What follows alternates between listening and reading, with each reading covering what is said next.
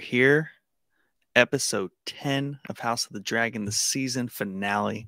Welcome to the Showboys podcast. I'm Pixel Nick. Join me, as always, Chadwick the Third. Chad, how are you doing this evening? Doing great, man. How are you, Nick? How are you?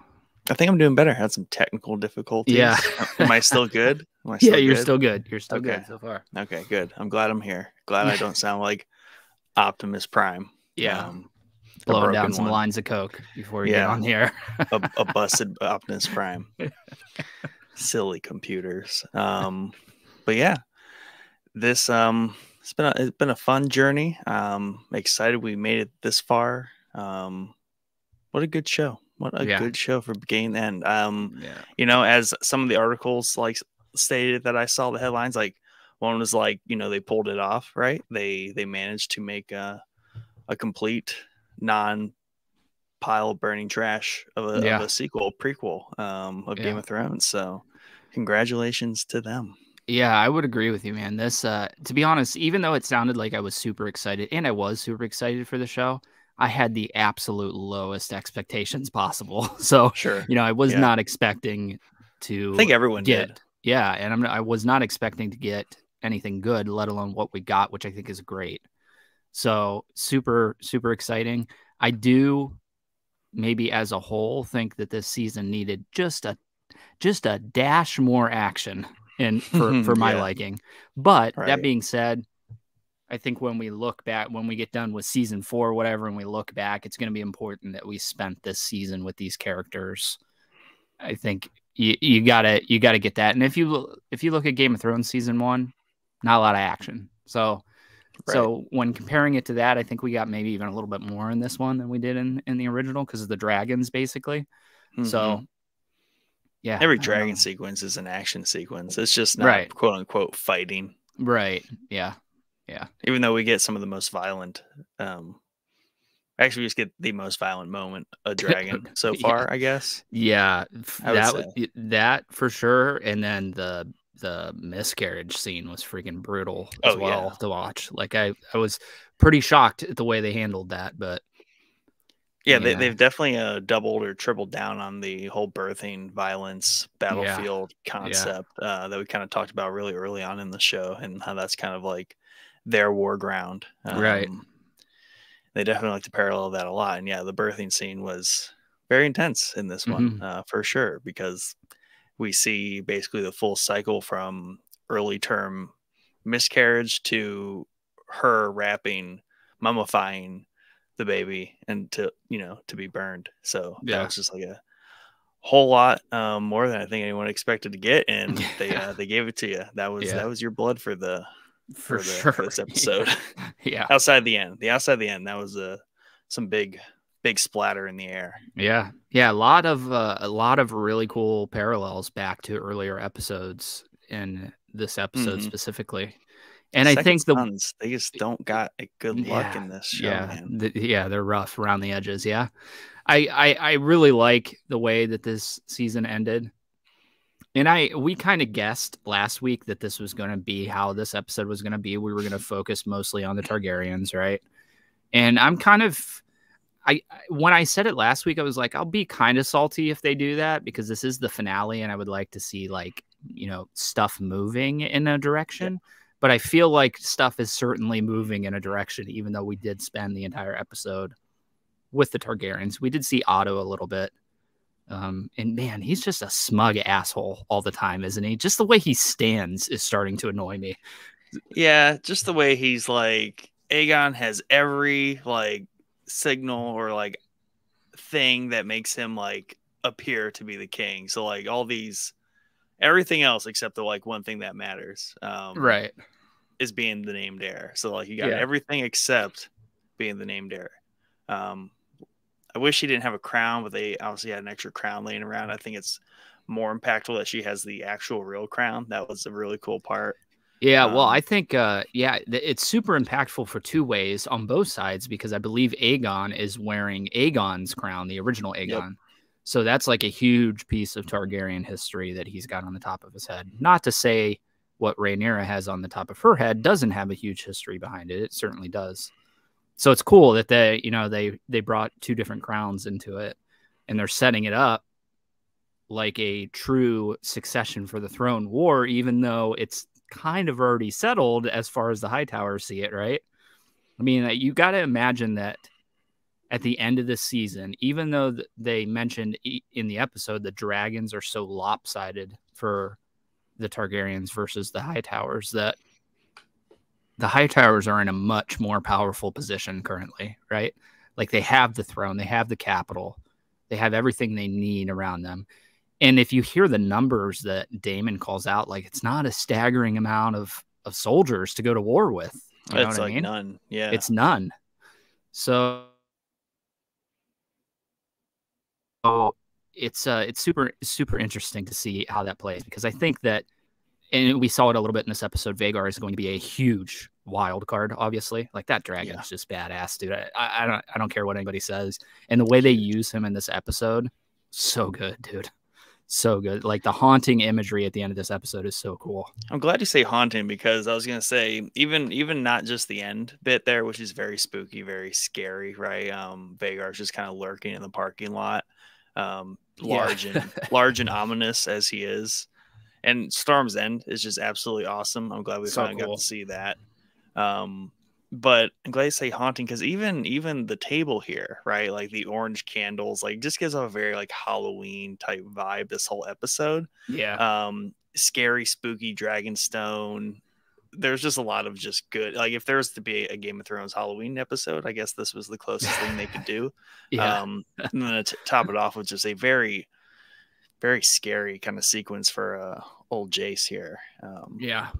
poor, Yeah, poor definitely. um definitely uh yeah I love love the way first off storm's end is great. The new baratheon looks like a baratheon. He's a little close to like zach galifianakis's stepbrother that didn't quite break into the industry but I'll, right. I'll i'll give it i'll give it to him. I, I think he feels like a baratheon. Uh, and i love storm's end. We've never seen storm's end. We've heard of it multiple times in the original series. But i think we saw it maybe a little bit at the beginning of the show at, at some point i think uh Rhaenyra goes there to get like a, a husband or something. I can't Yeah. remember exactly off the top of my head. right Yeah, super cool, and it's really like just the the light, the dark lightning storm thing going on in this episode, dude. It was so cool. Like one of the best dragon sequences from the show, and there's been several really good ones so far. yeah and i can see why uh stannis was so just kind of like beside himself and like bitter for like holding that for however long he did like just Yeah. stuck on that outcrop rock Right. on the on the seaside on the cliffs. yeah. Yeah. Um, absolutely.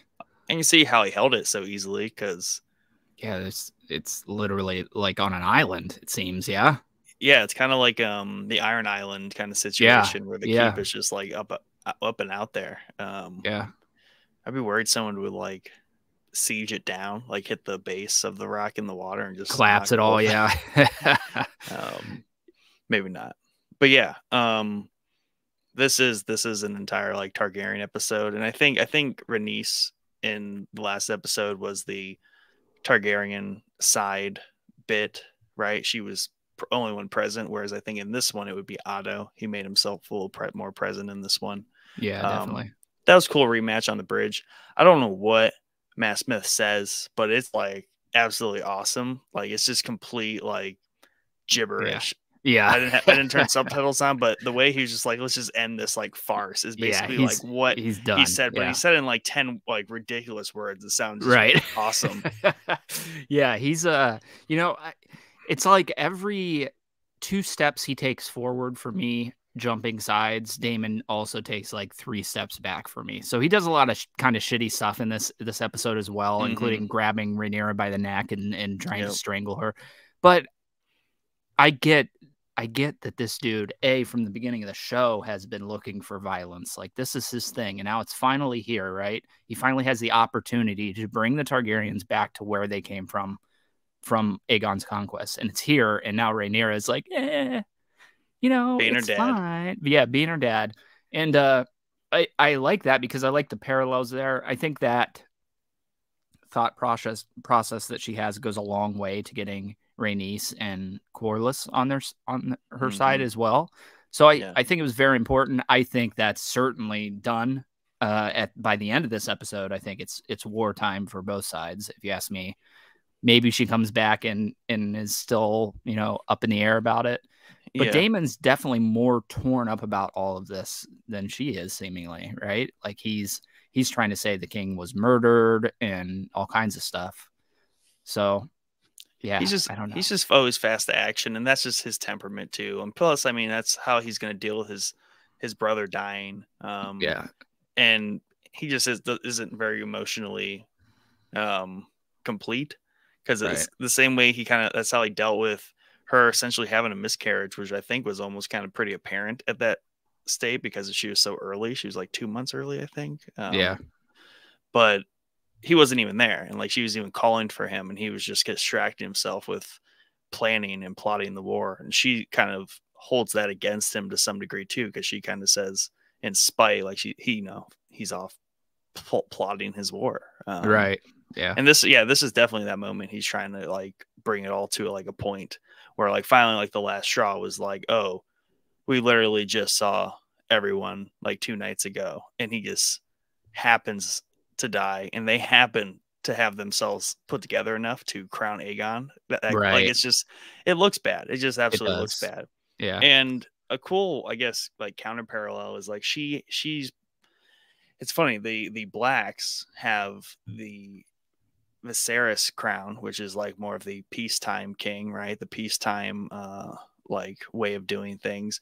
And then Aegon has the you know the conqueror's crown. And, and yeah, the greens very much like kind of conquer like conquered through usurping right the throne. And like that's more how they're positioning themselves to be uh, especially with like Aemond and their kind of first blow like aggressiveness.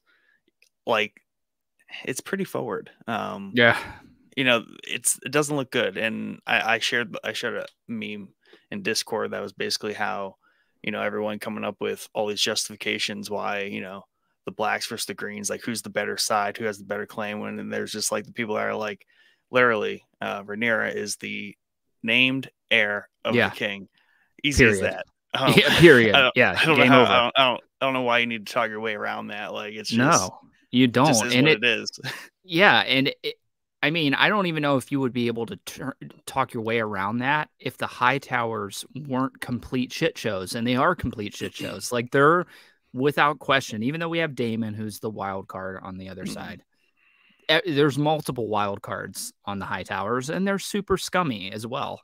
And that something from the beginning of the show kind of shocked me. Like I thought they were going to be the the put together ones. You know what I mean? Yeah. And they kind Yeah. of framed them that way in the beginning of the show, and it's just not the case by the end. So, yeah, I don't know. Yeah, I mean, it seems pretty obvious they usurped the throne put pretty pretty clearly here, right? Like there's no Mhm. if ands or buts around it. Now, And- go ahead. No, I was gonna say, and that's not to say you can't be on Team Green. Um, you just Right. have to acknowledge that you're for usurping the throne. That's Yeah. fine. Like I was for a ton of terrible things that happened in Game of Thrones.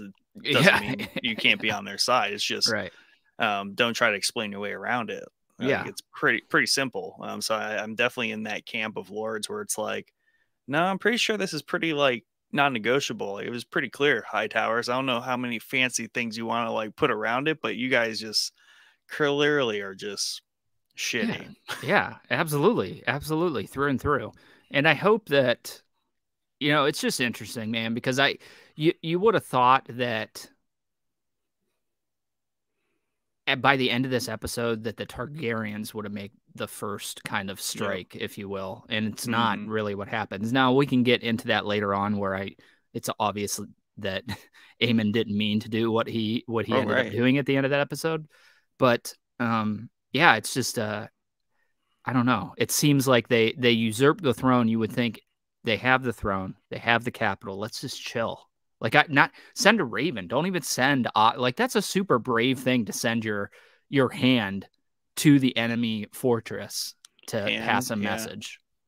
You know what I mean? Yeah, I mean the hands floating around. Um, not that Aemond needs to be like babysat. He's very capable of flying around, but you know to send her younger sons, like I get it's kind of maybe their time to like come of age, but I'm pretty sure it's Jace, right? Jace the one yeah. that got chomped. Um, yep even the size of his dragon, right? Like that's a baby dragon. Like that's yeah, a season yeah. three, season four, um, right? Dany dragon, and that's just not safe. Um, especially I was even thinking, I'm like, ooh, Storm's End. Like you're literally kind of moving south, like past King's Landing, like very easily, you know, Hightower dragon territory. Um, yeah, and, and yeah. I love that line by Aemond where he's like, you know, you think you can just freely float about the realm, uh, trying to steal my brother's crown. Like that's a great line because it's kind of true. It's like, yeah, and I like how the Baratheon also like back that up was like, you know, we're not just gonna kill an envoy. Um, let's like, yeah. have some stability here, right. or at least you know attack him. Right. So that was just that was a really really good sequence, but it kind of speaks to, yeah, those weren't those weren't the the smoothest moves. Like, um, should kill no. Otto. That would have been nice. Um, yeah, yeah, it would have just been, been nice. To, yeah, yeah, it would have just been nice to to to see that happen because even though I was like totally on his side in the beginning of the show, loved him, and I still do love him as a character. He's just such a smug little asshole. Every scene that he's always standing upright and is like dragons flying around him and shit, and he's just chill about it. But yeah, the the decision that Rhaenyra made seems really funky to me because I'm pretty sure Otto told her, like, we already have ravens going that way or messengers mm-hmm. going that way. So she turns around and sends her children to, I mean, she knows she's sending them into danger. And just because yeah. she's like, hey, you're not going to fight because you're just messengers, that, that's not how this world works. And she's got to know that by now, right? Like, she has to know. Right. And, and, and and I I like that how that happened. Um, we're just gonna talk about it because I like that it um it wasn't anything devious really by like typical games Game of Thrones standards where yeah oh welcome to a wedding you're safe right now we're gonna kill you all yeah. or no yeah you are an envoy we're not just gonna kill envoys because technically that should be a protected uh, duty but I think even Aemond knew that and he was just really from like they're cousins, even though he's technically his uncle. Um, just like messing around with him, like as kids, like you know, I have the biggest yeah. dragon. I'm just gonna mm-hmm. like torment you through the skies um, and taunt you, and it came down to just the dragons like uh, not liking each other and being upset, and they both lost control. Um, I don't know why Jace's dragon uh, decided to do something stupid like that. Like, well, I mean, home, little little yeah, bird. Um, yeah, yeah. I mean, it's it's cool because we haven't really seen. I mean, we saw a little bit of the dragons, maybe not listening with Dany in the original series, but I, I think we see it a lot more here where it's like these kids do not have control of the dragons. And this is one of the parallels that I was talking about from the original show where Viserys very clearly says that. Like, this is, you know, the the thought that the Targaryens control the dragons is a myth or whatever the exact quote is. Yep. So we see that at the end here, which is super cool. And yeah, I mean, I, I, I was really excited with the way that they did this this chase sequence because I talked about it earlier in the show. I hope they use the the agility and maneuverability of the smaller dragons against Vhagar, and they did multiple scenes in this chase sequence. But um yeah, it's just like a, I, I got to point out that, dude, lose the eye patch because you look way more badass with the freaking sapphire eye or whatever you got going on there. Like, that's cool looking. Like, don't hide that with an eye patch. Um, Maybe it's new and he unveiled it. maybe, Um, yeah, maybe. But yeah, I I it, I think he's just turning the tables on him because he still remembers the pig joke, right? He still remembers the the kind of laughing about it at the dinner sequence. So he's just screwing with him. He's just trying to chase him and scare him. And unfortunately, they're both dealing with dragons that they're not that close to yet. Mhm. And I got to be honest, if I was that little dragon, I'd probably shoot fire at that big ass thing too that was chasing me. So I can't blame him for true. doing it, you know? Yeah. Yeah. He was just like, you back off, like Yeah, leave me dude, back alone, kind of thing. Yeah. Um, and, and it also shows that like these are still very much children. Like they're not Right. they're not very mature at all. Um and that's to Rhaenyra's point. Like also she's like none of our dragons have been to war. But I don't know why and how she says that when they have been. Um like in the stepstones. Like Yeah. Caraxes has been the war, even though um the Velaryons have too, and like one of them's unclaimed because it was Laenor's, but I th- there wasn't as much standing. I was like, yeah, some of your dragons have been. I mean, you got Daemon. Yeah. Um, Yeah. Daemon's technically still way more dangerous than Aemond, even though he's on. for sure. Well, I don't know, man. Yeah, I don't know. I, I think that that dragon is just such a freaking wild card, dude. Like that thing is massive. It's like disturbingly large. And we saw it how big it was throughout the show, but in this episode specifically, that like shot from underneath where you see it Yeah. flying over top, it's like, dude, holy shit. Like that thing is massive. So Yeah, even like over the canyon too, like just engulfs like the entire top of the canyon. Just right. Yeah. That's just a frightening. Like you don't see that very much in any media. Period. So no. you know, No, we don't we don't haunting get a lot. haunting shot with him just chilling out in the the parking kinda like area. Frankenstein. He's kind of like a big lumbering Frankenstein. Like he's Yeah. he's that type of frightening. He's scary. He's a scary monster by all means. Whereas Oh, yeah. like um Eric's Arrax, um, which is Jace's this is Luke's. Luke died. To Oh, was it. Luke? Okay, yeah, yeah, Yeah. yeah. I get him all mixed Um, up. You know, he, he's a nice little dragon. He's fun. He, you know, he's got like some cool markings and stuff. And there's just big, ugly Vhagar. That's just like a goblin. Yeah, and a grumpy, grumpy little shit too. Like he's like Caraxes as well. Like he, it's just just grumpy, you know. Yeah. and uh, I I'm curious to see because I I really enjoyed the them talking about the wild dragons as well. They still had what, Yeah. three wild dragons, and they're all roosting on Dragonstone, and we got to see one of them too. And I like I- don't know, I just really liked that sequence, even though the singing was a little odd. Like I just thought the, that whole sequence was really You like haunting us Valyrian singing? Yeah, I mean, maybe it's just him, you know, Matt Smith singing. I don't know. it was, uh, yeah, it was a little weird, but He was just like, I haven't, I've had very minimal dialogue this entire series. Can I sing a song? yeah, can I sing a song? Right? Yeah, I'm gonna, sing a song. yeah, Um, and we we looked at this uh in the first episode of the companion series, and I figure we look at it again because there's definitely some updated data, right? Because everything we saw before um the series started was obviously with a, a lot of context, whether it was the family tree we looked at, which I think there's probably much better family trees now that we can have actually a family tree of House of the Dragon, the show, Right. right? Yeah, it yeah. deviates a little bit from the the real one. Um, but this is this is our dragons here. Um, and I will say the original one where these like images are from of each dragon was showed it differently. It showed a huge disparity between like showing Drogon from Game of Thrones is just Right. way too small, way too small. Yeah. This Yeah, more accurately places it and it makes us fixes a lot of the surprise that he was really that small. It doesn't look like that. Um, so this actually says that Drogon was right here between Syrax and Meleys, who we we have seen quite a bit at this point. Um, Meleys making her debut in the last episode, and we've seen Syrax plenty of times. Um, so that in my mind looks better fitted for where Drogon is in terms of size, and also in terms of like the size of all these dragons. Now, in this chart, Vhagar, I would still argue he still might be bigger than this chart leads on. significantly. Yeah, I would, I, I would agree with that. Even looking at him with Arrax or however you say it, I think he's, Yeah. he is a little bit bigger. Yeah, Yeah. So yeah, so the whole like dragon, like dragon versus dragon, like stack up, you know, I just don't think it was a good assessment overall. Like Daemon's argument there was like they have four, we have 13, and like one of theirs is even like a baby. And I'm like, well, I would count Eric's as a baby. Like that's a right. pretty tiny, like little baby dragon. Like he was really just blowing smoke. You know what I mean? Like he, yeah, yeah. it wasn't a very sound argument, but his point was we have more dragons. Whether or not yeah. that's like tangible, like an up, is to be yeah. determined.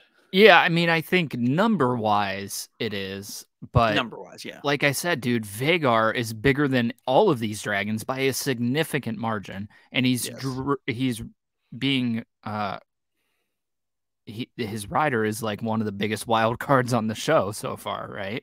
So yeah, yeah, he's gonna be a much bigger issue than I think Daemon is giving him credit for. Like, yeah, maybe they do have four or whatever he says, but one of those four is the oldest, biggest dragon alive right now, you know?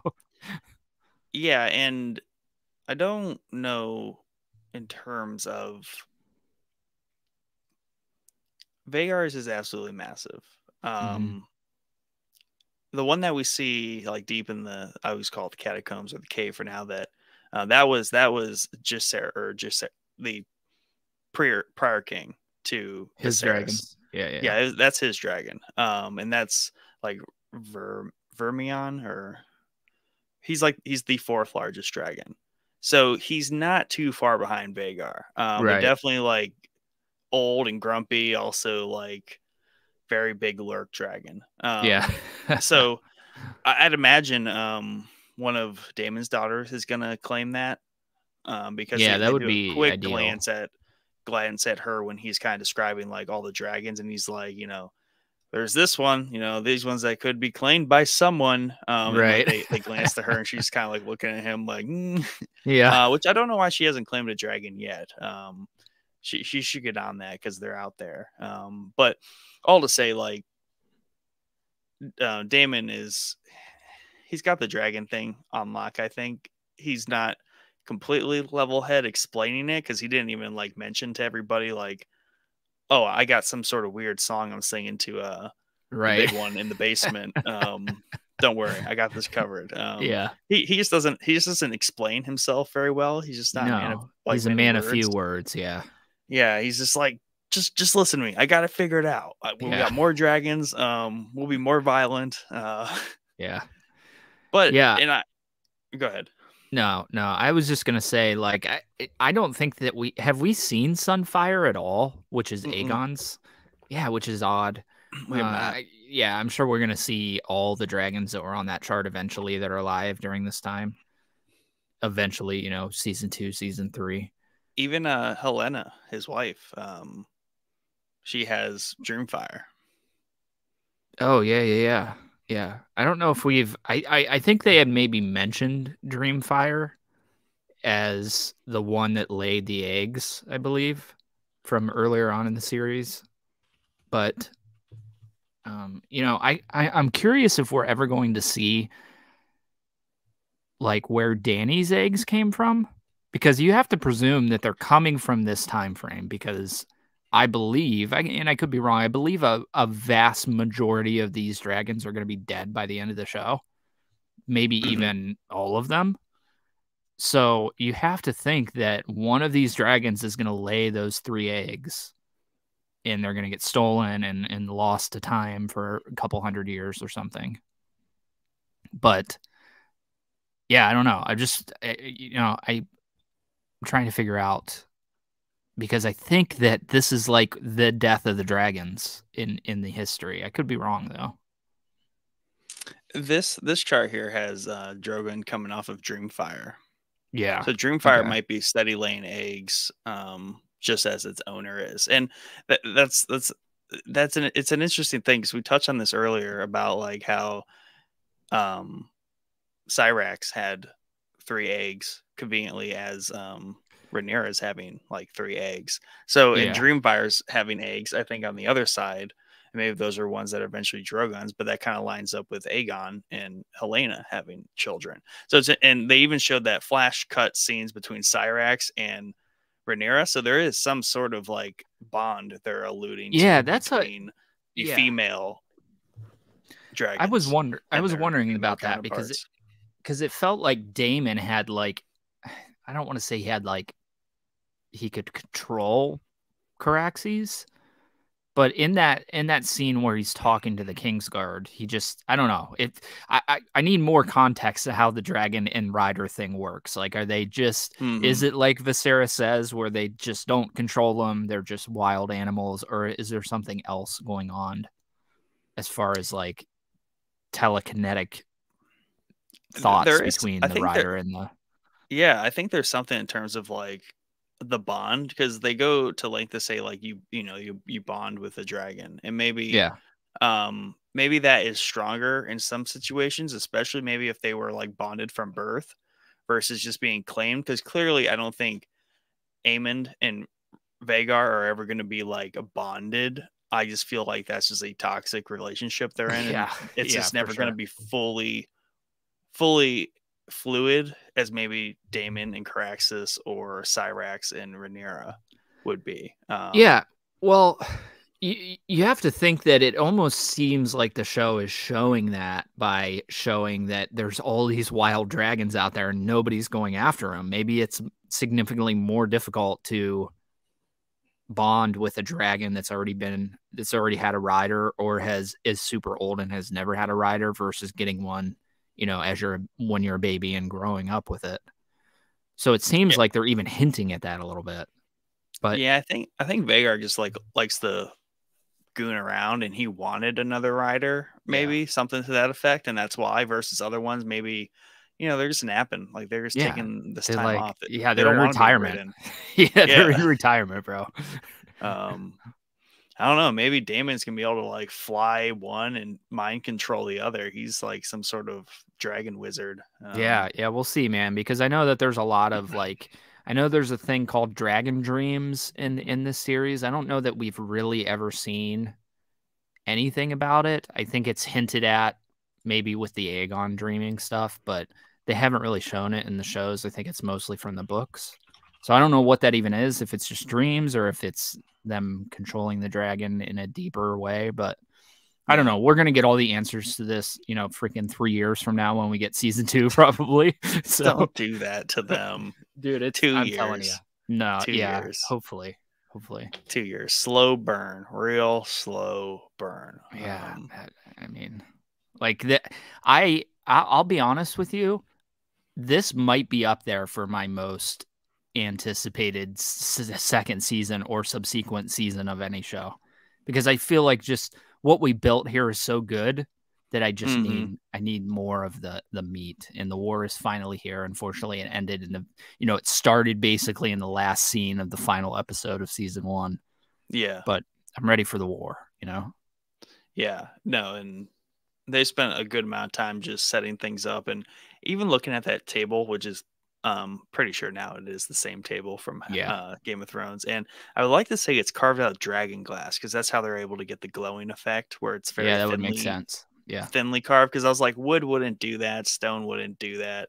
Wood would kind of do that, but it, you know, that's some pretty, um, pretty uh carbonized wood if that's the Yeah. case. So Yeah. I definitely think it's dragon glass. Um, and it, it that it was just absolutely awesome to see. Um, so cool man in I- the I- heyday. Yeah, and I remember seeing screenshots of this before the show aired, and I'm like, do they have? Is it like lighting up? Is it glowing in the dark? Like, well, what the hell's Mhm. going on here? So I like the way they showed how they put the coals and stuff in there to light it up. Um, but yeah, just a cool visual, and I'm I'm sure we're gonna get more than enough of this table in the in the future because this is like the war table now.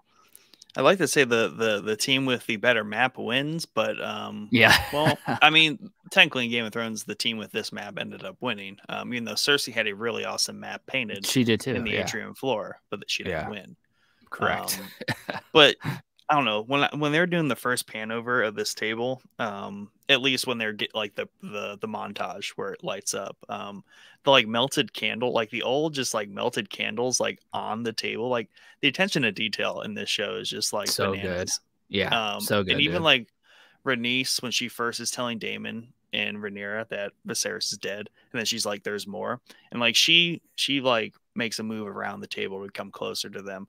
The Kingsguard like mirrors her movement and like Yeah. keeps his like maintain distance, and I was just like, these are just such cool details. Um, yeah, it's like stuff that maybe was missing from season eight. especially the attention yeah. to detail, like simple stuff like the Starbucks cup. It's just a little stuff like that goes a long way. And we talked about it earlier, like the cobwebs on on the Valyrian, mm-hmm. you know, Lego set that Viserys had, and is like that. That is something they could have easily been like, yeah, like we're not going to do that, but they did do it, and it adds quite a bit, even though it probably took 15 minutes to do. You know. Maybe yeah, and longer, someone's like, longer. "Hey, we should make that look like Dusty," and like, yeah, and someone's like, "On it." Um, right. we need some melted candles here. Um, yeah. And there's something the Baratheon, um, something in there that was like super. Oh, like I like this happens in Game of Thrones. Um, and it's these like awkward where they they they stop the action of like the sequence with like some stupid um just the way life was. Like he can't read, so he's like, "Where's the maester?" Yeah, yeah. So like, yeah, yeah. This tense, this tense moment where like you got Aemond looking on, you know, and he's got this really hard ass like stance. Like he he one he dresses really well, and he just really presents yeah. himself, uh, much like Daemon does. Um, Very much, yeah. And that all just kind of gets stopped, and there's just this awkward like silence where Dude, Luke is like great. he's yeah. like waiting and he's like getting like stared down by his uncle and Baratheon can't read and he's waiting for the maester to come read it. It's just yeah, that's just so much fun and that's just like a fun bit to add in there because it's just like well yeah like the king is not every king's just going to open up the letter and read it. They need the maester to come. Right, right, exactly. It's very realistic. The, you have to assume that a lot of people didn't know how to read back in this real time mm. in our real world, right? So I I think it's super realistic, and I thought it was kind of like a comedic relief at the at the time too to to, to slice up the tension a little bit.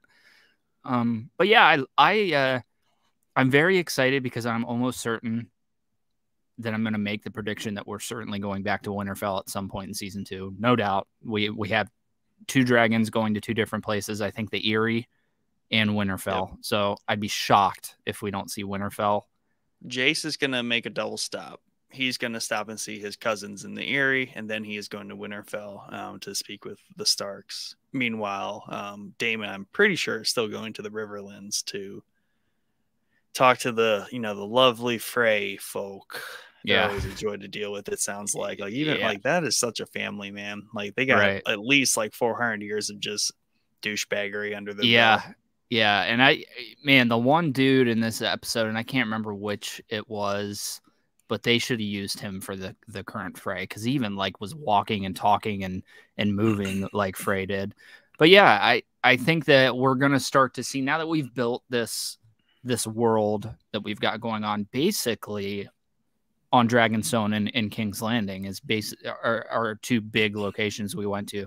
I think we're certainly going to open up more now and see more of the world. And I hope we see some places that we haven't seen and some places that we have seen. I'm sure we're going to get, you know, I want some, I want a lot of, I, I just want to go back to Winterfell, bro. like, I want to see what Winterfell looks like at, at, this time. Yeah. The Eyrie, too. I'd like to see the Eyrie, but uh, I'm still. I like, I like the throwback houses, like seeing houses like yeah like I love seeing the Lannisters in this because it's not the same Lannisters, but you can definitely tell they're Lannisters. So I'm really excited to see the Starks 200 years before yeah you know, the Starks we know.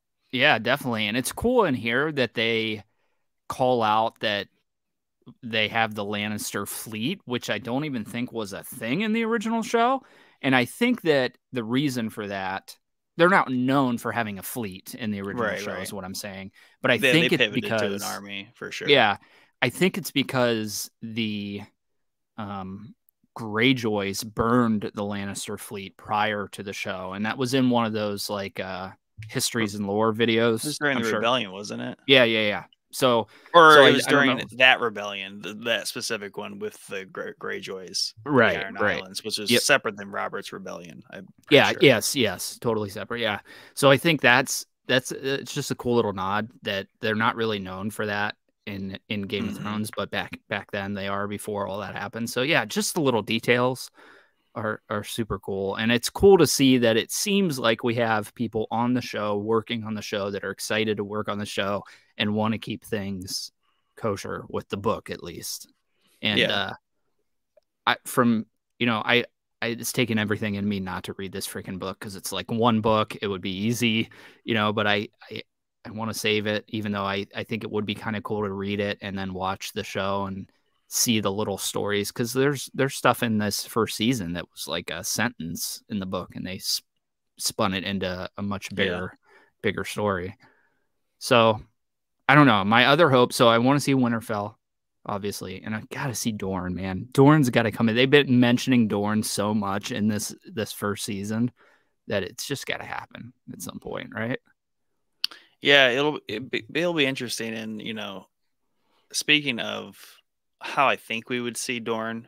um, the Sea Snake is back and Corlys is back. He, uh, I guess, was saved um, to everyone's misinformation, um, and they, he did make it back onto a boat to be cared mm-hmm. for and nursed back to health. And um, essentially, I believe he like kind of awoke here on Dragonstone, um, fully recovered with his wife by his side. Um, so it's good to have him back because um, I like him, and I think I like him now more that he's kind of gone through like a near death experience.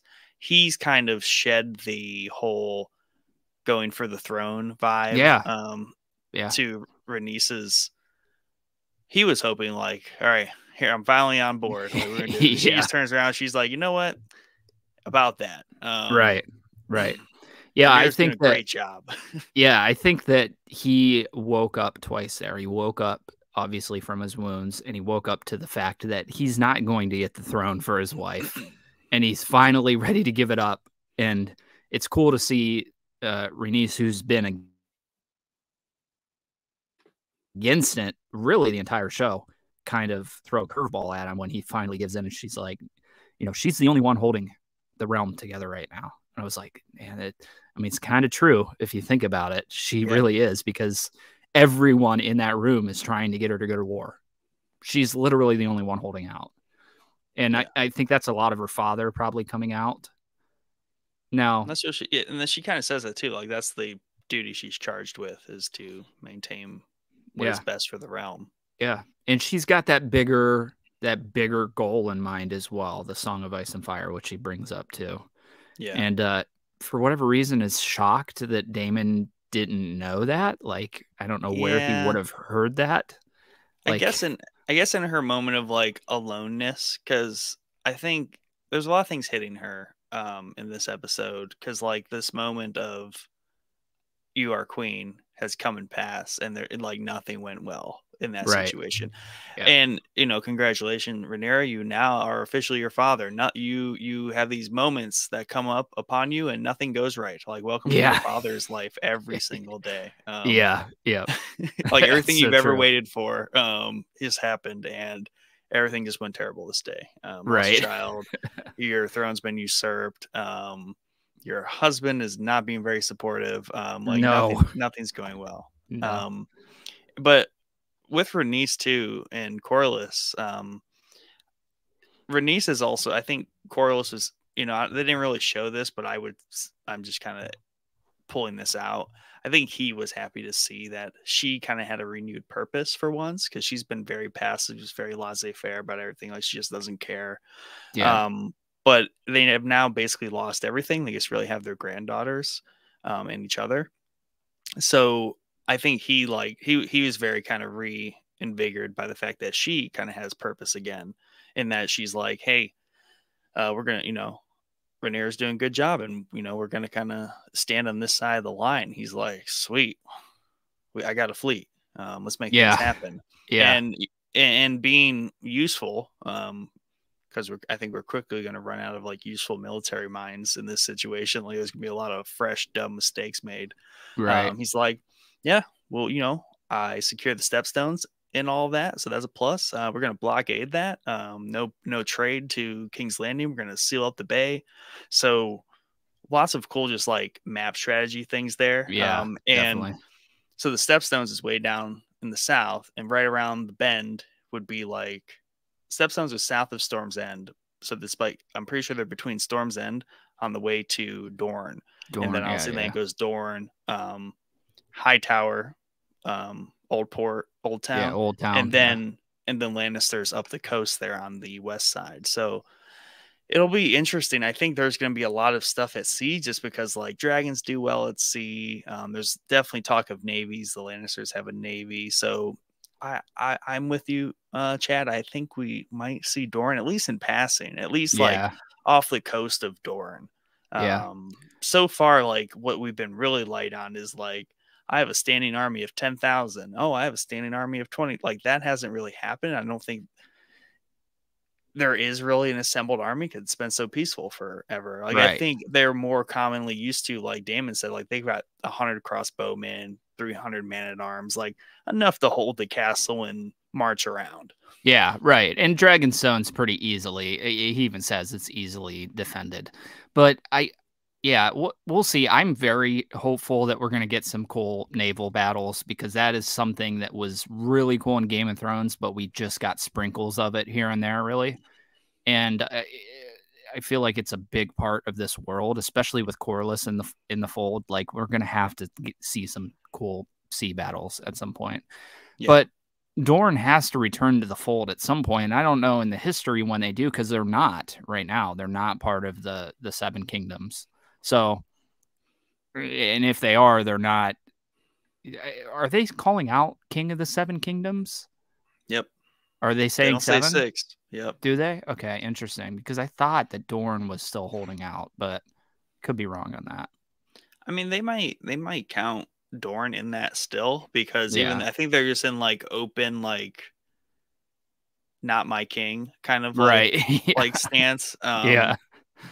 Because I think because they make that passing comment in a small council meeting where it's like, oh, you know, what happened? Like, did we are we at war with Dorne or something? Um, so I think it's just like one of those sidebar conversations that's out there, and you know, Viserys was gonna be like, yeah, let's march into Dorne and just Right. reclaim it and put our flags down. He's like, nah, you know what? They're not really hurting nobody. I'll still, you know, count it in my seven in my title. Um, Yeah. Yeah. Uh, yeah. I'm just, uh, you know, I'm curious to see where everybody lands sidewise here. Like, I'm really hopeful the Starks land on the Targaryen side. I don't know if they do or not. We obviously know the Baratheons are, are not going to land there. Who knows with the Freys? Like, I, I, I don't even want to see the fucking Freys in the show, to be honest with you, because they're such scumbags. Like, they, I'm sure it's just in the DNA, even though this is 130 something years before, or 170 years, whatever it Yeah. is. I'm sure they're still just as scummy, but I could be wrong. Yeah.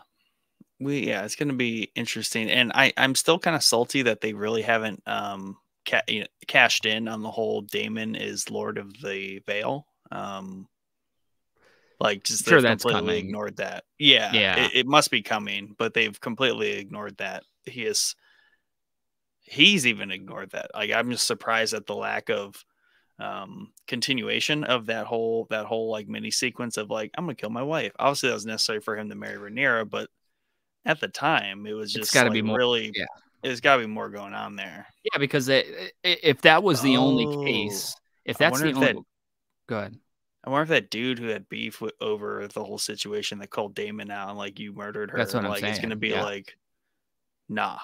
Yeah, yeah, that's what I'm saying. If it was the uh, the only goal was so that he could marry Rhaenyra, that would have been the end of it. But we we hear that Mm. we see that dude. He's discussing it at the wedding or whatever was going. I think it was a wedding.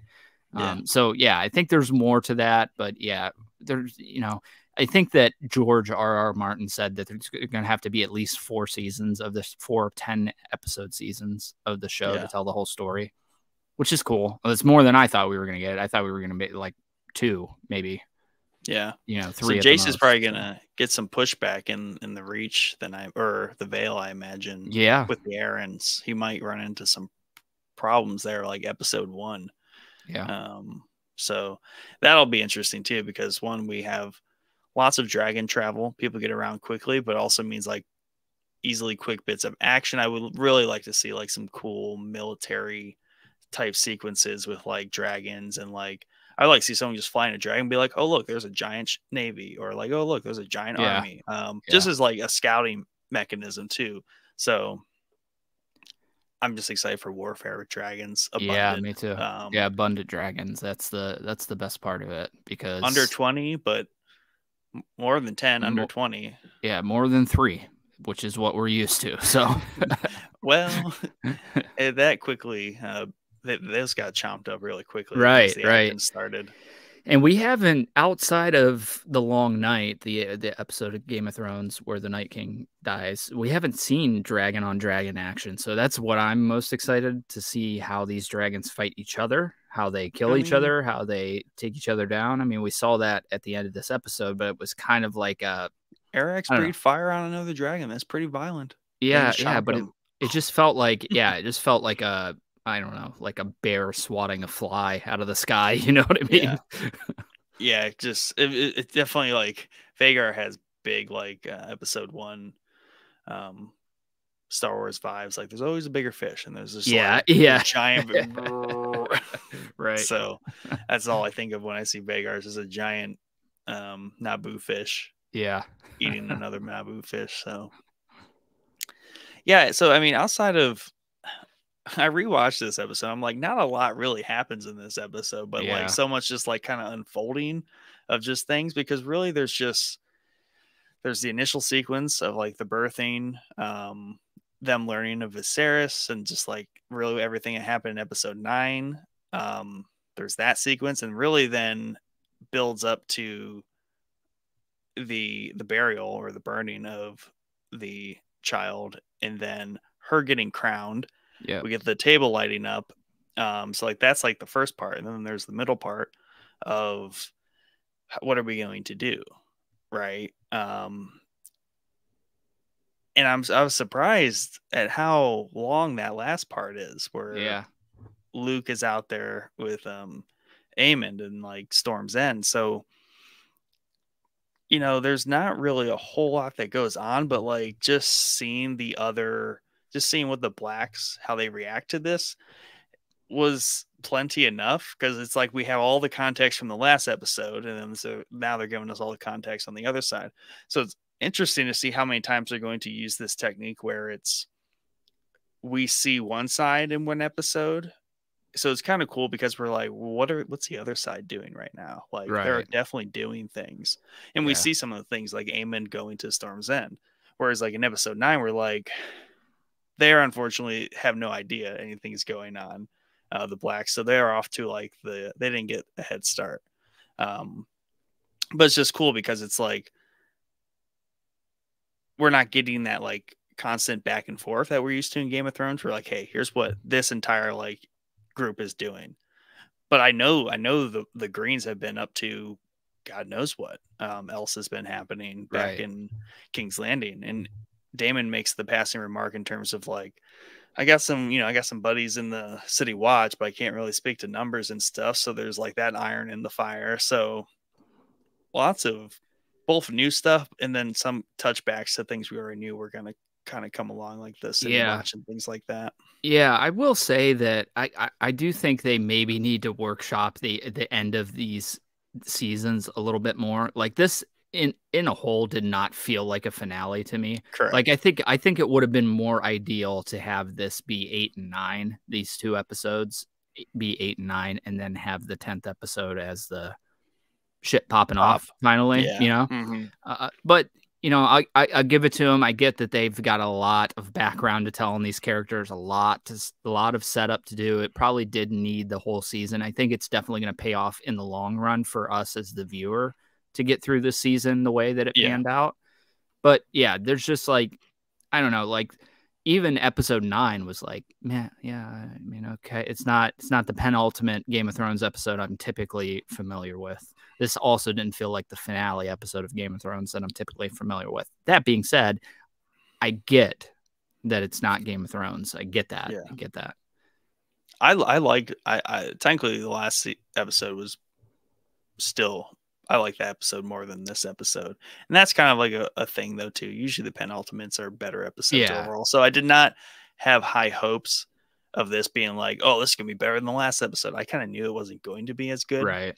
Um, and that's fine because there's like you said, there's plenty of setup. There's, you know, plenty of that's gonna go on. And like we're obviously just very excited to see that unfold in the next season, which is just gonna, I think, up the up the ante yeah. all fronts. Yeah. Um, which I, is fine. And and you know, they got to do the time jumps. They did a great job telling all the story, and we really just need more like family members to kill off later on. So like we couldn't Right. just start early in season one because we didn't have enough characters yet. Now we have like three generations of people to kill off. Um, yeah, So that's you know Game of Thrones building it all up to just start taking it all killing away. people. Yeah, that Um, that that's the most exciting thing going into to season two here is that we have everybody alive basically, except for the one kid that I didn't even remember his name.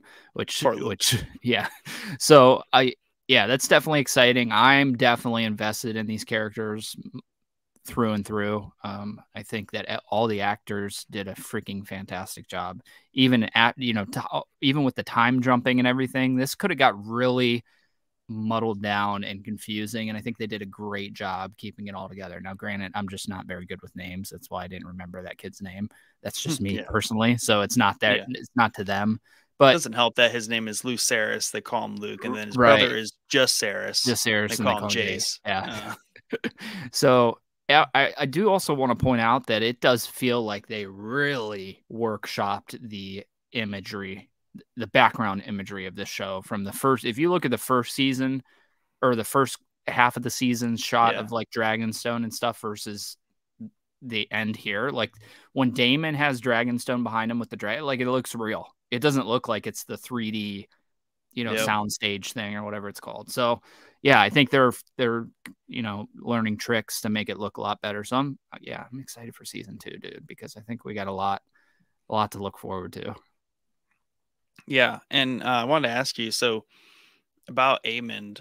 Obviously, he didn't intentionally do that. That was an accident, right? Um, but how do you think his character is going to come out of that situation? Because obviously, he one has to go tell his mother um, that he was a bad boy, and didn't make things any better. Um, No, like, yeah, I know we were trying to like get Rhaenyra to like agree to terms. I don't think she's gonna. Yeah, Um, yeah. so I- but, but you know he, with him so far like he he goes he, he his character has a lot of growth and it's like he goes from one stage something hap- something important happens and then he takes that and then shifts direction a little bit so i'm interested to see which direction he goes and i was wondering if you had an idea of like yeah, I I don't know, man. It, this. it, like like part of me thinks that he's maybe not even going to say anything about it. If you think about it, that dragon fell like into the ocean, right? i don't know how that dude knew to tell daemon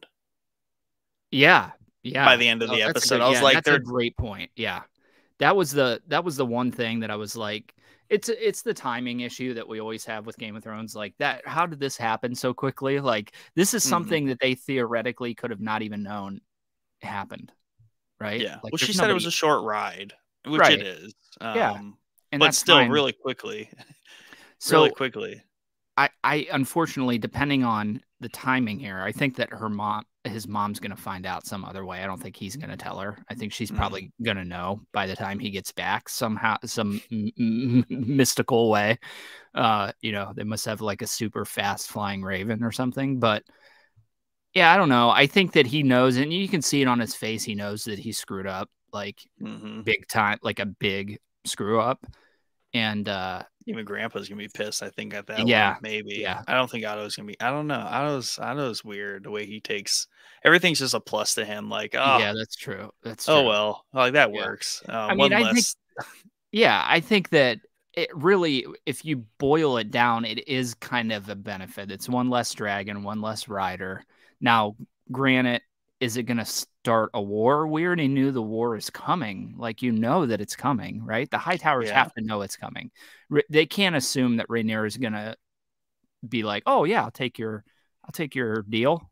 No doubt. Like there's no way. They know it's coming. So I I don't think it's going to be the the shocking moment that for the Hightowers at least. I think the shocking Right. moment's going to be for Rhaenyra finding out that the Hightowers are definitely not th- her buddy anymore, right? Like Alicent's full crazy mode right now.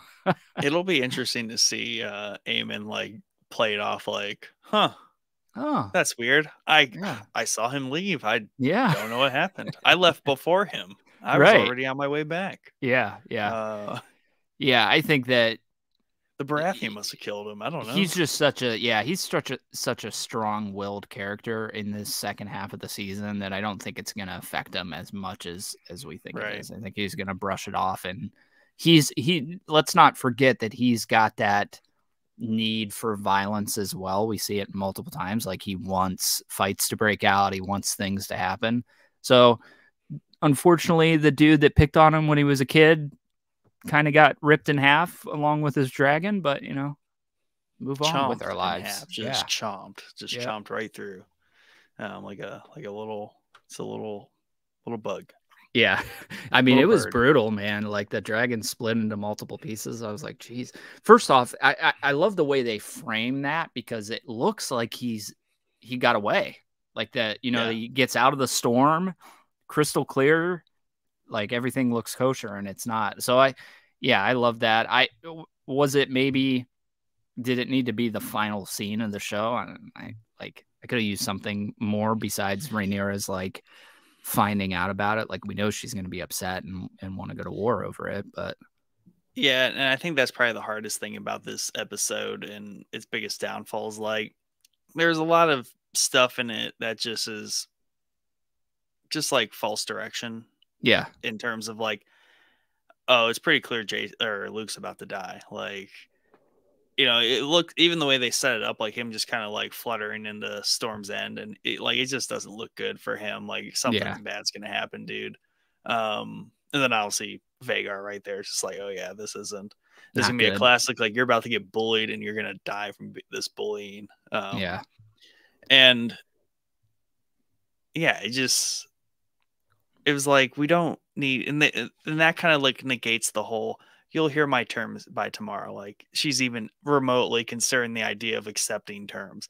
Like we know she's going even if she accepted terms they would get broken because there has to be a in right, this, right, you know, yeah, story to tell. So yeah, um, I I had I had similar complaints about things that they're doing um, in Rings of Power like that, where there's this obvious. Um, you to- I think you have to be careful when it comes to IPs like this, where there's this established like, duh, we know that's going to happen. Unless you're right. really changing like the story. Um, it's just like they're adding in these weird little mini arcs that's just for like audience shock and awe for those that don't know what's going on. They're like, yeah, maybe she is gonna like just accept that Right.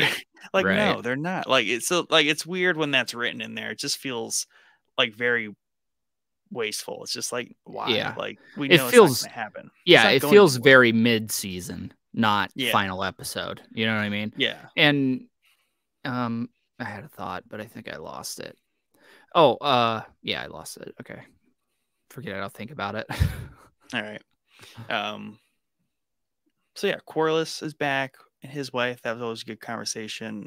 So daemon um chokes Rhaenyra um out of like what seems to be just he he's emotionally just like underdeveloped and he just can he's just so frustrated with her that like everything is like right here in front of like her and them really to be Yeah. like war let's just do this and he was like you know we'll surround king's landing and have every Hightower's head on a spike you know within Yeah. like a couple days Yeah. um like he's just, he's just ready to go yeah and I think he just can't process that well. He's just so frustrated with her. I think, on, and on top of like, you know, they technically lost a, a child together. Like, there's just like a lot going on between them. Um, and she's also just kind of like instantly turned into her father, which I think is very Right. frustrating for him.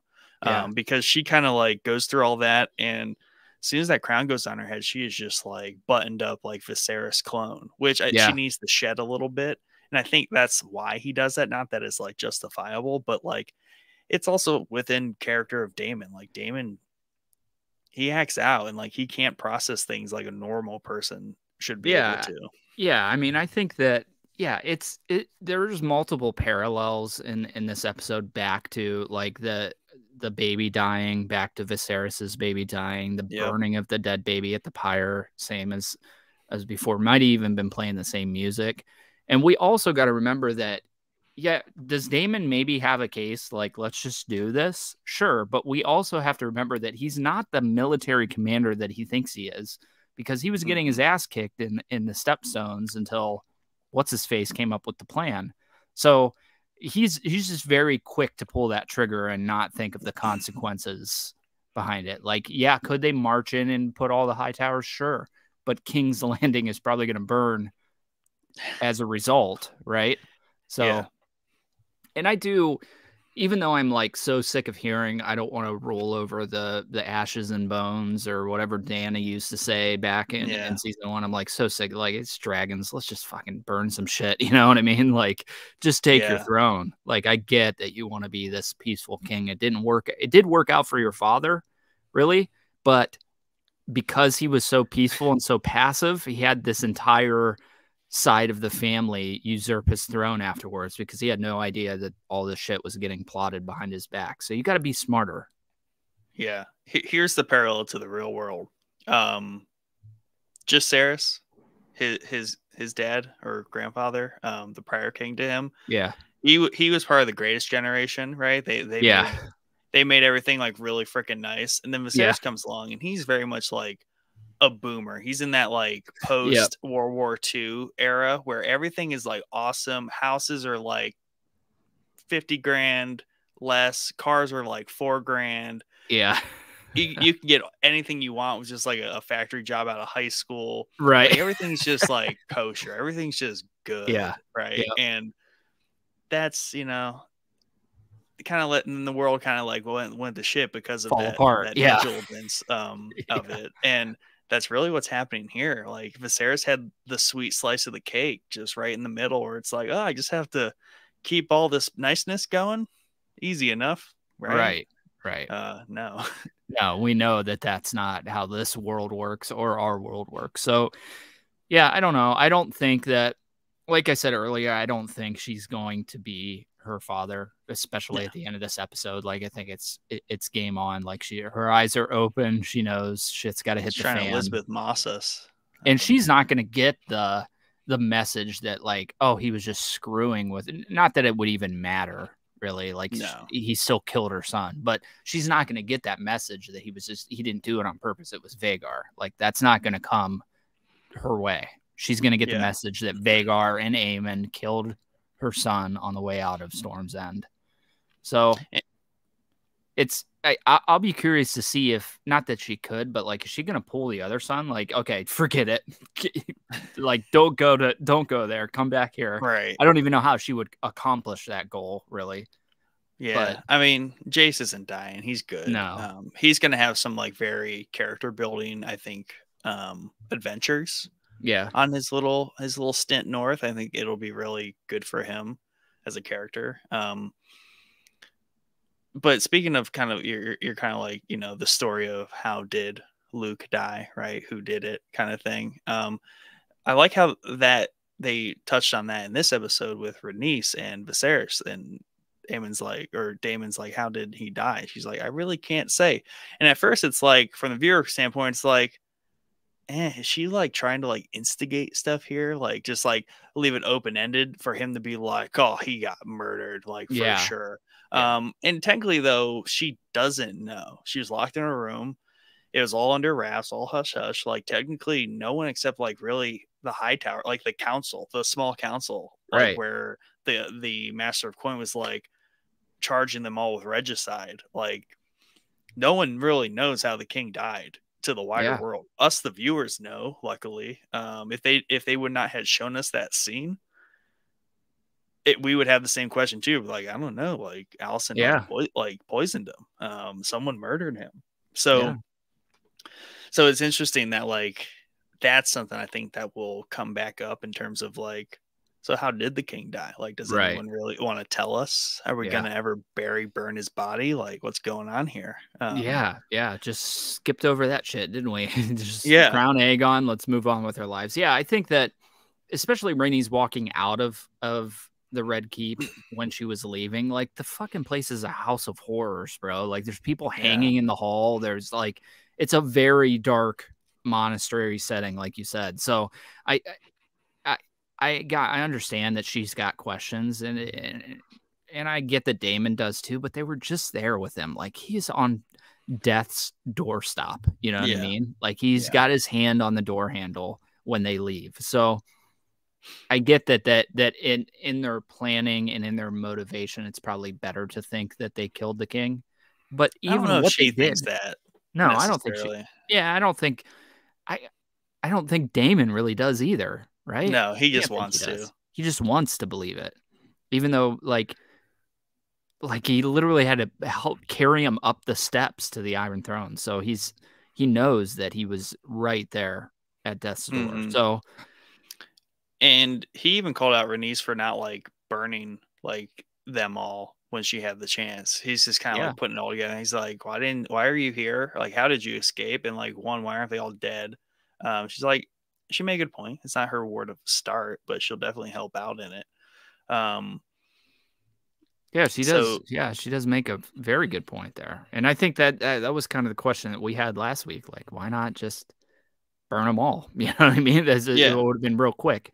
But it's the same thing. Like we know that's not going to happen. But she does have a good point. Like it's it's not her war to start, right? She doesn't want to be the the instigator of everything. But that yeah, kind of it- wasn't starting a war. That was ending any chance of a war, right? yeah, but in the same thing, like, still, like, how did uh, you know, how did the king die? Technically, it would be like so, like, to the common person, like, so wait a second, we just crowned a new king. Yeah, that was super shifty how we got there, but point is, we were crowning a new king, and Yeah. then, and then some random Targaryen cousin just like murders like the entire yeah. royal, all the whole the whole royal family. That doesn't seem right. That seems like a bad thing. So, no, I mean, yeah, it could have ended, started and ended it right there. Um, and I guess, I guess then she would fly to uh to Yeah. Rhaenyra Dragonstone and been like, hey, you know, fixed it. It's okay. That was about to go really south. We're about to have like three more seasons, but we're just gonna cap it here at one. I, I fixed it. Yeah. Okay, Um, I got I have a question for you. And that is who on either side do you think has the best chance of betraying their said side? Mm, hmm. Also, I was gonna say earlier, I was Daemon also probably choked her because he was like, "We could have killed Otto like right Yeah. there, and we didn't Yeah, earlier." I'm so right. mad. I'm so Right. mad. He just wants to Um, kill Otto. I hope he gets the chance to, to be honest with you. He Dude, deserves yeah, he was just he babbling to nonsense, like Yeah. nonsensical things. Just like let's just go, like let's just kill him. Um, Yeah. but who might flip? Um, I still think Aemond has a really good, really good case, but Yeah. like his case definitely was not helped this episode where he like kills um Luke. He's kind of like really out in the doghouse on that one, Right. Um, though I still like to think um him and Daemon have something more going on between their characters than just like parallels in attitude and like a straight up like standoff like the hound versus the mountain Yeah. fight we're like looking for like i hope there's more to their characters than just like some epic fight scene um where like one of them kills each other i would like to think that there's some more purpose there in their in their sameness to where Yeah. like you said i think a couple episodes ago where daemon kind of like convinces him like hey man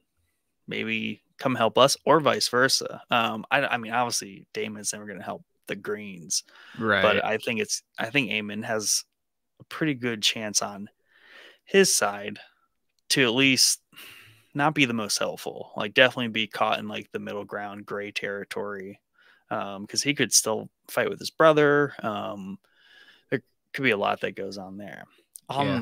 on the on the black side, I don't know. They got it they got it pretty tight. Though um I wouldn't put put it past the Velaryons, even though they're super on board right now. I still wouldn't put it really far past them to shift to like a neutral stance at the least.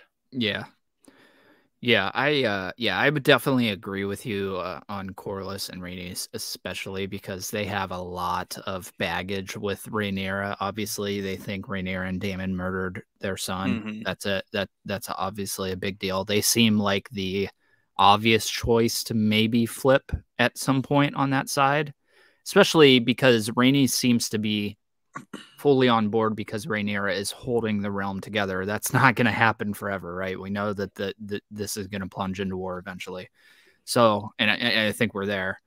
But uh, on the on the Hightower side, I don't know. I, I I can't really place it. I want to think. Do you think that Alicent and Rhaenyra are ever going to have like a we were best friends at one point. Maybe we should stop this shit altogether? Or is Alicent full on board? Because she doesn't seem full on board. A lot of the stuff that happened was, you know, planned without her knowledge, mm-hmm. which she's going to feel slighted by, I would imagine. And she's still, yeah, she's still definitely playing catch up, which was the big press to get Aegon first because she wants to be in his ear first. Right. Um, so I could I I could see um I would one that's another uh character do I would like to see more come from than just like pure like oh, okay we're we're basically identical in every single way except for the fact that we're so identical we hate each other for that those exact same reasons. I would like to see them have more of a like understanding and i would yeah I, I, would say e- even both of them like kind of tell like everyone else to like stop or like fuck off, like something yeah, to where yeah. like they are a, a, on some topic a unified front. Maybe not the whole war, maybe not like literally who's king, but like something that's very dire and very big plot point and they're just like all right we're going to agree on this one thing and we're going to try to work together to get through yeah um yeah what that is i don't know but i would definitely like to see definitely more depth and they alluded to that too from her trying to beat out her father her telling her father off her making sure she has control of Aemond or Aegon. So her father could eventually get under the skin in his claws into Aegon. And that's where she starts to lose him and she gets really frustrated with the entire like her father situation. Yeah. Maybe she kills her father in, in typical yeah. Lannister Lannister fashion. Yeah. I mean, I think that I, I think Alicent is, at least for me currently, kind of on the fence because she, a, let's be honest, okay? She's not like we said, her father and everybody plotted behind her. She's got some mm-hmm. weird dude waiting in her room to look at her feet every night when she gets home. Like she's not happy there. We see that. And I got to yeah. think that there's more to telling them their story when they were teenagers than just uh, they were friends and now they hate each other. You know what I mean? Right. I, I, hope there's more right. depth there as far as the characters go. So I don't know. Alicent just seems like I don't know. She seems like she could be the one that that does something to yeah betray the family in some way. Yeah.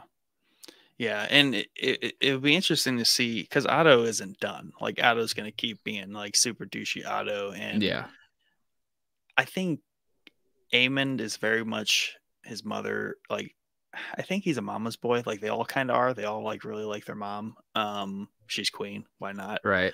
But um, it'd be interesting. Uh, he, you know, if is he like the ride or die son for his mother, and that also might help him flip a little bit in terms of the grayness on like where he stands with her, um, and or them versus like Aegon and Otto. Um, so like and like you said, they're not very well put together family. Like they're kind of breaking no. at the seams as it is. So yeah. I don't see I don't see her progress with Aegon lasting long in terms of like be a good king. Um, yeah. Be nice, be kind, be my beautiful little boy. I know you are. Right. Uh, right. Yeah. And that's uh I have this dagger and I want to use it. yeah. That's my other question is like where where do you think Aegon's gonna go as far as what kind of king is Aegon going to be here? Dude, he's a black box. I think I think he's going to hold it together with his mother's guidance and he's going to slowly go off the rails and she's going to lose control of him and Otto's going to be able to like try to control him. So I think that's going to be a big thing between Otto and Alicent is how do we control the king?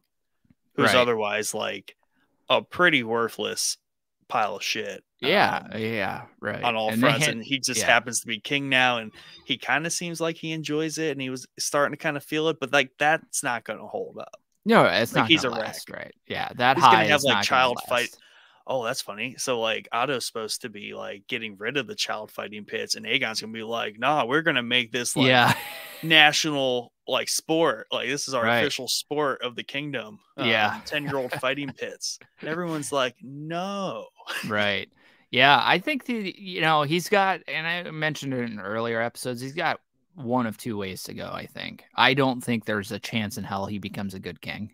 Zero, zero chance that he's going to be like the the Zero. good king of of this story. But he's got to either, and I, I I know it's not Game of Thrones, but I got to try and compare it to to frame my story a little bit. So he's either going to go Joffrey's route, which I think is what most people probably assume is going to happen in the long run, mm-hmm. or Robert's route, where he's just a drunk that just doesn't really care. And I think that would be more interesting for the story if he was just like the king, like everybody else is fighting, he's just drunk, doesn't really give a shit what's going on. Like that makes more sense because it's going to be easier for the Targaryens to get people on their side if he is like a mad king, right? Yeah. Yeah, I think I definitely would like to see more of a Baratheon route. Um, Yeah. But maybe like a Baratheon blended with um, a Tommen, where it's like the drunk just doesn't care, but then like he's pressured into situations and he's like, I don't know what to do. I'm just going to pick something. Someone tell me what to do. And he's just going to like do whatever Otto says, for example. Yeah. Um, Yeah. Or whatever birds chirp in his ear. Like maybe like Larys is like creeping in his ear, and it's just like, yeah, just burn it all, man. Yeah. you've got Yeah. dragons. I wish I had a dragon to burn Yeah. everything with. I'd burn Yeah. my family over all over again. right. Um, Yeah. I think that uh I think he's he's definitely got the opportunity to be the puppet that people are trying to pass back and forth to to Yeah. do their bidding. I think that's what they're setting up. But I'm here to see what, what happens with Larys. Is that they do mention Harrenhal taking Harrenhal in this episode, which he is now the leader of. So yeah, just a lot of military, cool military shit that could come out of this. Uh, what we set up here. So years from now, I guess we'll find out which route Yeah. they go. Yeah, two years from now, we can hope. Um, Yeah. but yeah, I mean, definitely. I mean, I think just this episode just has the rest of the season kind of riding behind it is really what carries it. Otherwise, like it, it's kind of like definitely in the bottom half, maybe. Well, it's in the bottom second half of the of the show. Um, it wasn't, you know, it wasn't fantastic or great. Like it just really Yeah. satisfied the marks for a finale, and then we're kind of like getting out of here. So, um, not that it was a miss. It was just, you know, not not the high point of the show. I think yeah, I agree. penultimate was high point. Um, and Yeah, I, I, I, I like the idea of what they did here. I think it was a cool idea, but like I said, I think that it should not have been penultimate and finale. I think it should have been maybe even seven and eight or eight and nine. Yeah, uh, because I, I I feel like they need to frame both sides here moving into season two, like where everybody's at, you know, what the plans are, who's on each side. I get that they needed to do that. It just didn't. I needed some. I needed some sort of war to pop off in this finale, and we really got just a really cool dragon sequence, which I loved. Don't get me wrong, but I needed I needed just a little bit more action. But it, it's it's kind of a mute point at this point because I'm sure Yeah. we're gonna get that. I'm sure we're gonna get an abundance of action in the show.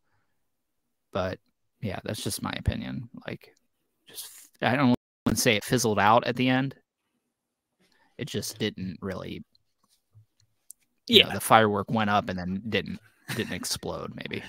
yeah. It was just like the little, the little little puff ones, um, the little sparkler ones that go up.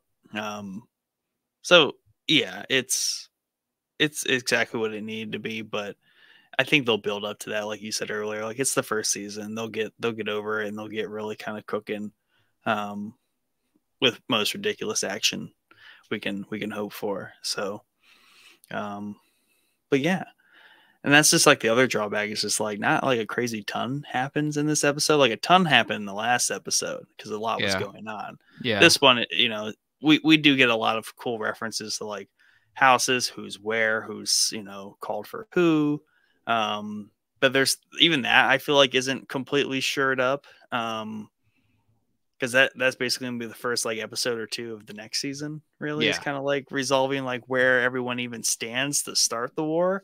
Right. So yeah, I agree with you. Like they could have brought this season more to have a head, and like war was just like upon them.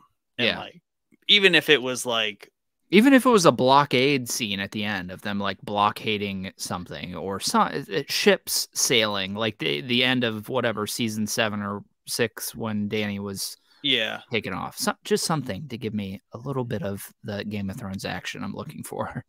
yeah, and while I'm not like I don't pro- I don't want to promote like them doing like big ridiculous cliffhangers. Um but like it's almost like Yeah, yeah, ridiculous that- like setups is what they need to do. Like they could have done like a ridiculous setup where it's like even just ended it with like two navies sailing at each other with like dragons on both sides and then just Yeah. went to black and just like made just left the biggest teaser um on the ground.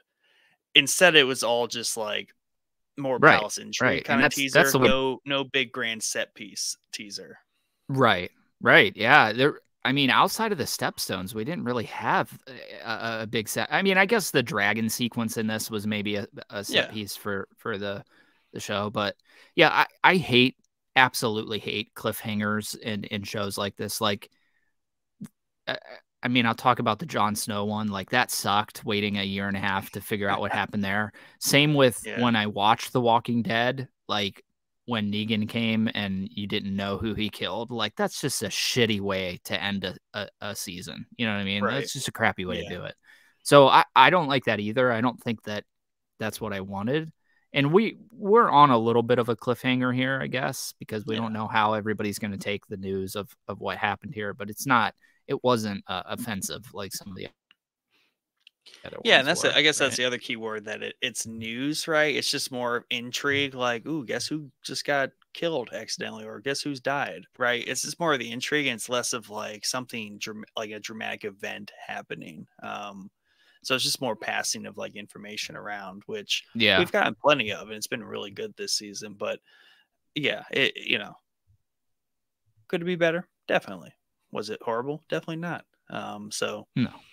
It'll be all stuff that gets corrected definitely in the season two, uh, especially if we're getting four seasons. That'll be a nice, like I think, compact story to tell. Yeah. Um, what will be? What do you think will be like the first big action set piece we get in season two?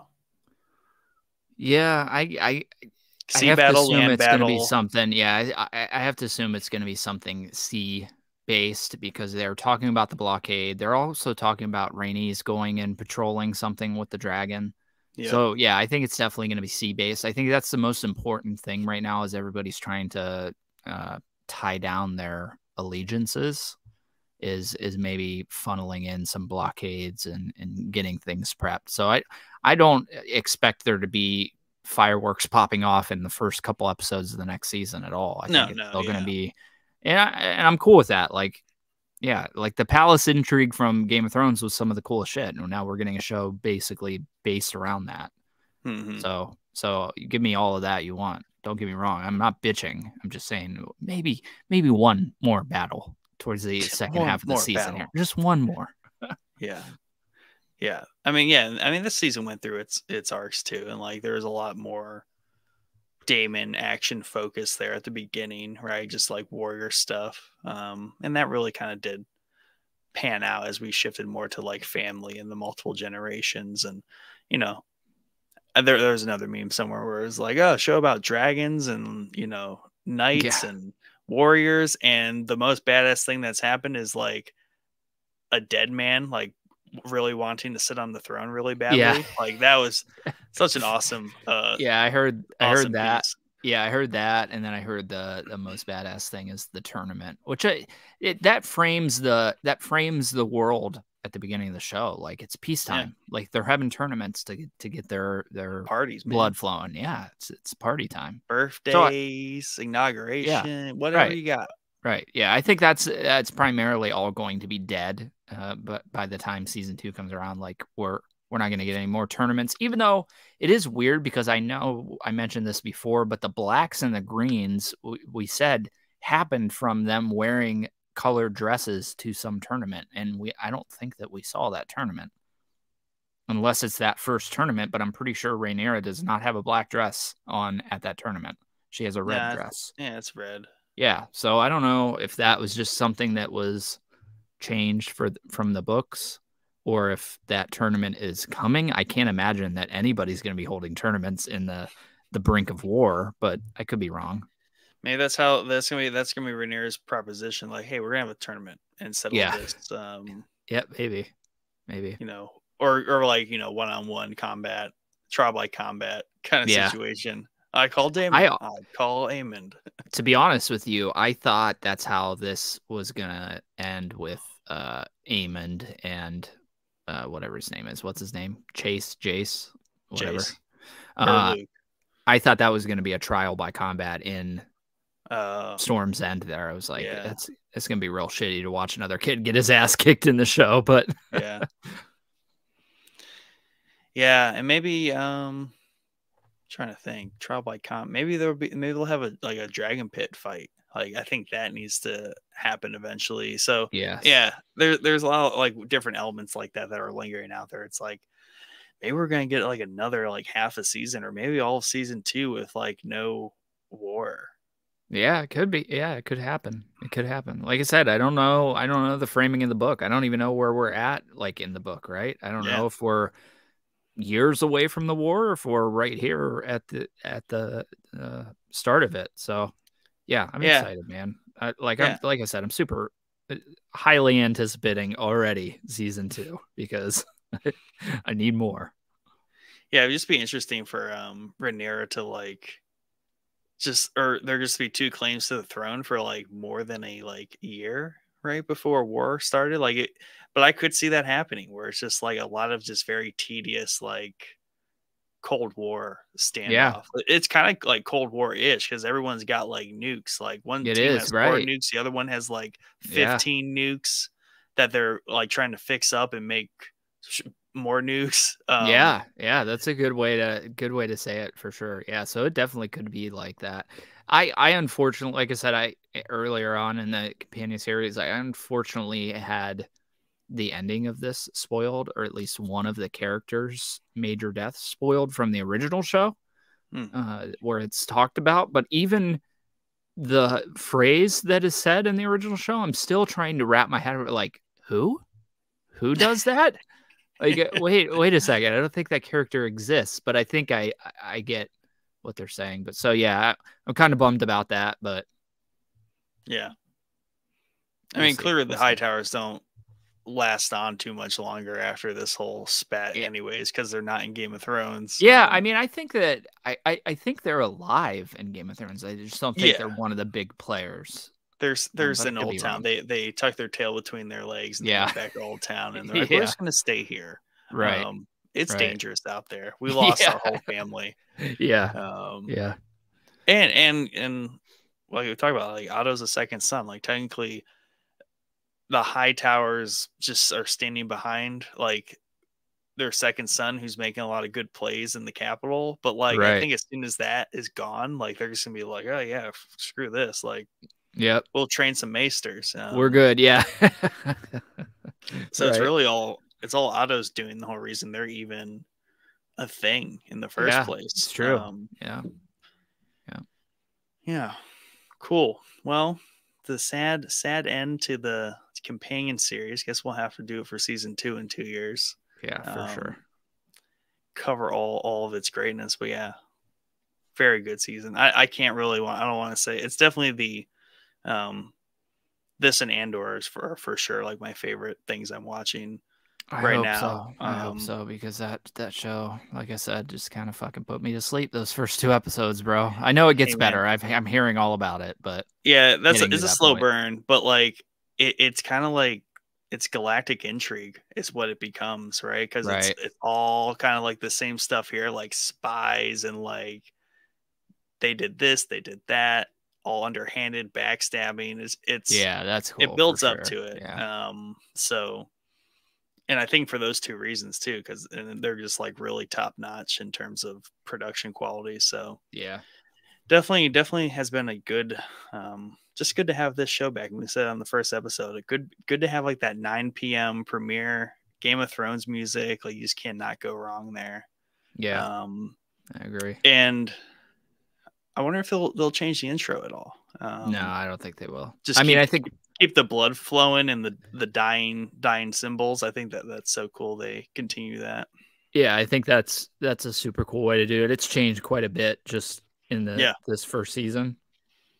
But as far as the intro song, like they're not gonna outdo that intro song. They might as well just keep it. Like it's just so good. Even now, dude, it's just that that end of that song is just so cool. So It, it's the Star Wars credit crawl. Like Yeah, music, yeah. like it's all you really Yeah. need. Um, yeah, I agree. Yep. nothing more needs to be said. It's just that it is what it is. Yeah, yeah, it's co- it's cool, and I, I I like the imagery too. The the because this is all about blo- bloodlines and succession Yeah. and stuff. So it's really cool the the way they did it. I do feel. Do you feel like it's shorter though than the original Game of Thrones intro? No. I feel like it might be.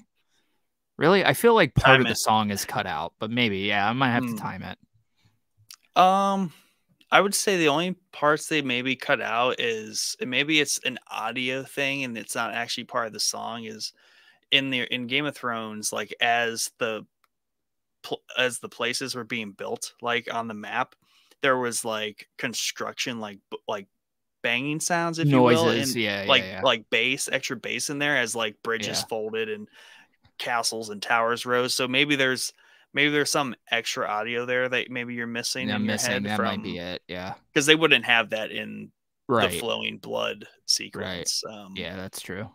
Because I always remember when um the Iron Islands went up, like you could hear like as Yeah. the bridges snapped into place between them, Yeah, things yeah, like that.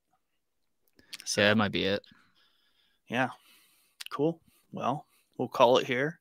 Um, awesome show, Yeah, awesome show.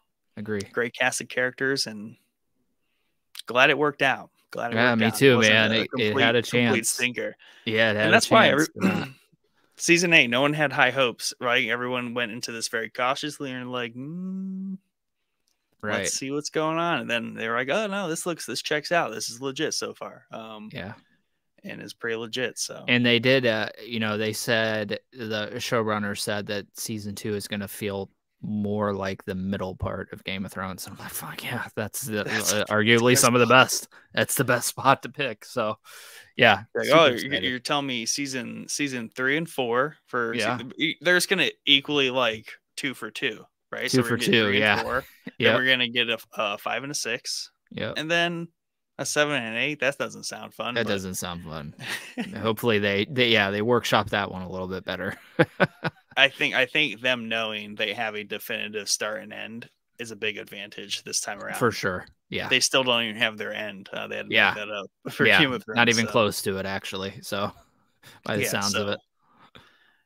Yeah, it's crazy how well you can write write uh, a, a television adaptation of a story that's finished, right? Versus Right. one that's unfinished. It Right. goes such a long way. Um, Yeah, it does, doesn't it? cool. Well, thank you all for tuning in. This has been um, the House of the Dragon campaign series. We were happy to do this. We enjoyed it a lot. Um, just like talking about this show. I like having a reason to watch it twice um, Right. every week and just just crush through it. With that, um, tune in this Thursday for our last Spooktober episode. We will be talking about um, the latest Flana Flaniverse, as I think what it's been Flaniverse, there you coined.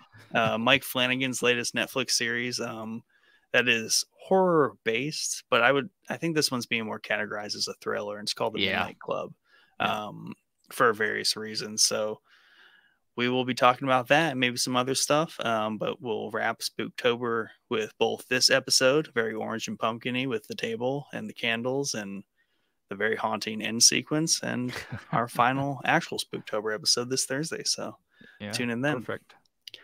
and as far as this series goes, we'll see you in two years, Two years at minimum. 2.5 years, Please surprise me. Please surprise me. six months. Boom.